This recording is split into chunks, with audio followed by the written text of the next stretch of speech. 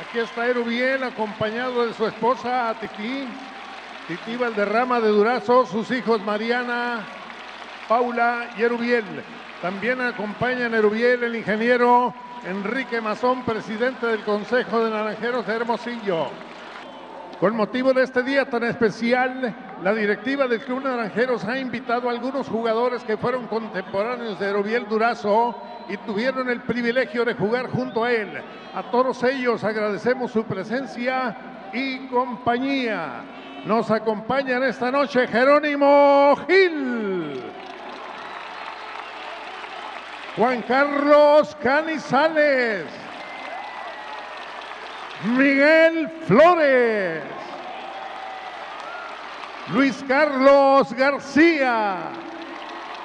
Bueno, Luis Carlos está ya, eh, va rumbo a la placa que se va a descubrir, es decir, rumbo al número. Héctor Venado García. Humberto Cota. José Luis Acuña. Luis Alfonso García. Jaime García. Elmer Descens, que también va rumbo a la tribuna. Cornelio García.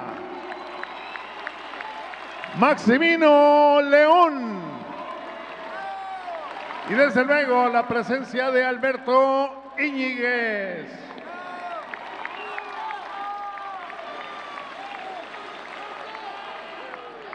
Héctor Mesa, asesor de receptores. Adelante, por favor.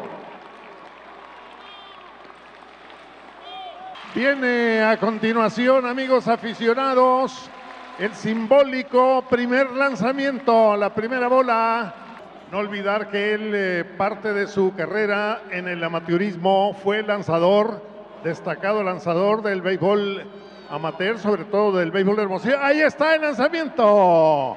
Ahí lo recoge perfectamente Jerónimo Gil con esa clase que no se pierde todavía.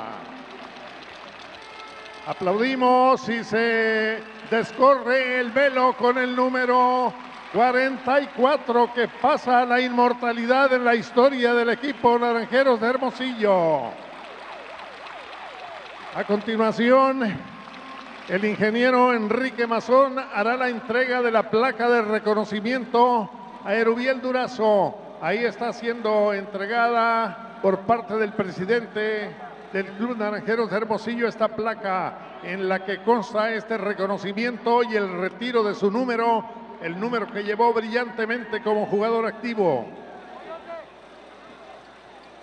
Enseguida el licenciado Enrique Mazón Cubillas hace la entrega del jersey con el número 44 que pasa a la galería de las cosas más preciadas por la familia Durazo Valderrama.